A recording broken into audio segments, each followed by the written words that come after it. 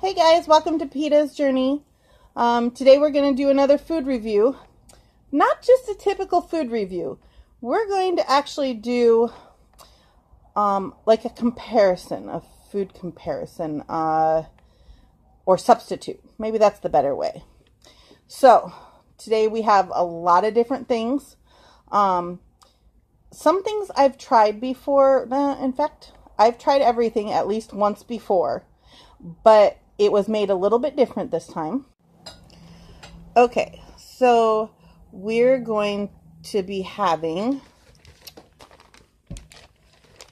chicken tenders by Quorn. Quorn is my favorite. Um, you sure that's not backwards? Yeah. Quorn is my favorite um, vegetarian meat. Um, I love them. Uh, but I'm going to give an honest review. Always. I always will. Um, so, let's see. Um, allergens. Contains eggs. Then we also are having cheddar broccoli rice-a-roni. Probably not the best thing, um, but we're doing it tonight. Um, and allergens are soy and wheat. Um, I've talked to you guys about my, you know, potatoes. We're having potatoes and radishes. Um, and I've, I've told you that I like butter and cheese on my potatoes. Tonight there's no cheese on my potatoes. Um, but this is the butter that we use. Earth Balance. Um, it's not actually butter at all. It's different kinds of oils. Um, and it is, cat, is this vegan?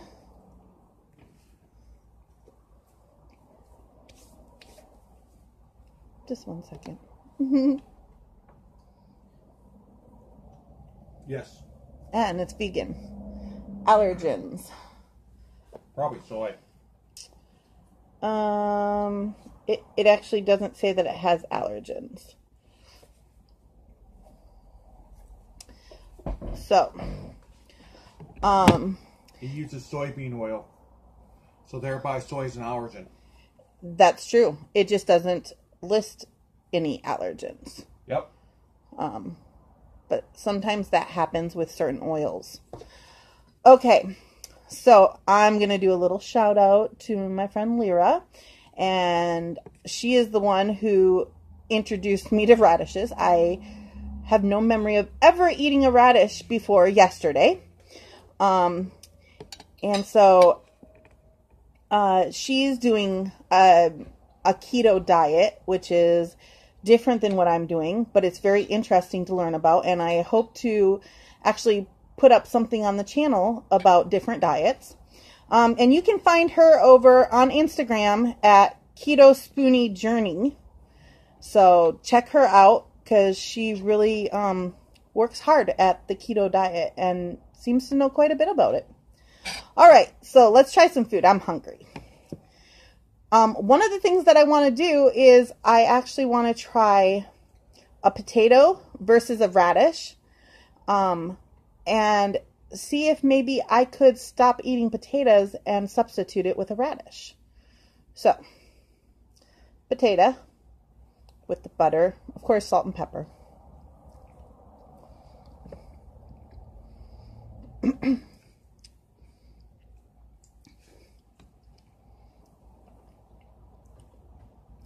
and by the way, they were steamed potatoes, and they're really good even without the cheese, which is shocking that I would say that. okay, now to try a radish. Mm. I could definitely eat radishes and substitute uh, potatoes. What about you, Cat? These are kind of sweet. I think they're really good, though. Could you eat them as substitute for potatoes? Sure, a little small though. They are small. We we would have to eat a lot more of them. Look at the size of this thing.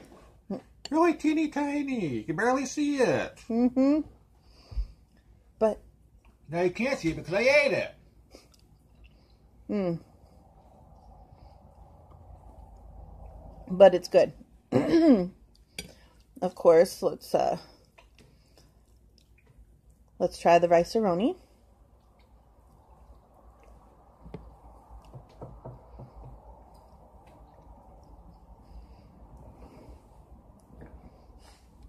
You know, I haven't had rice-a-roni since beginning this journey. Um, so this is my first time actually having rice-a-roni. And rice-a-roni, the San Francisco treat. in like over four months. And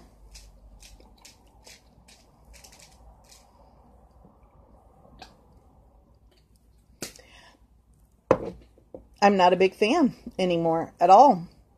It's not not as good as I remember it how it used to be. Nothing against rice-a-roni. It's my taste buds are changing. Okay, so the chicken, the chicken tenders. We're going to try this. So, chicken tender. Now, I, I did save this for last because um, I've actually tried chicken tenders before by Quorn, and I am not the biggest fan of them. As much as I love Quorn products, the chicken tenders are not my favorite. But when I was a meat eater, I wasn't that big of a chicken meat eater. I preferred steak. Steak is my favorite. Really bad for me. Okay, let's try this. Mmm.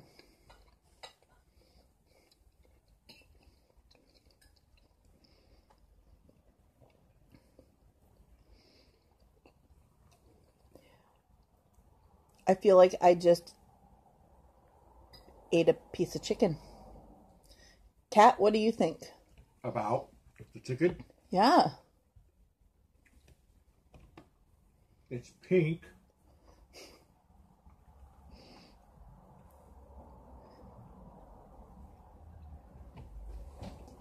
Pretty good.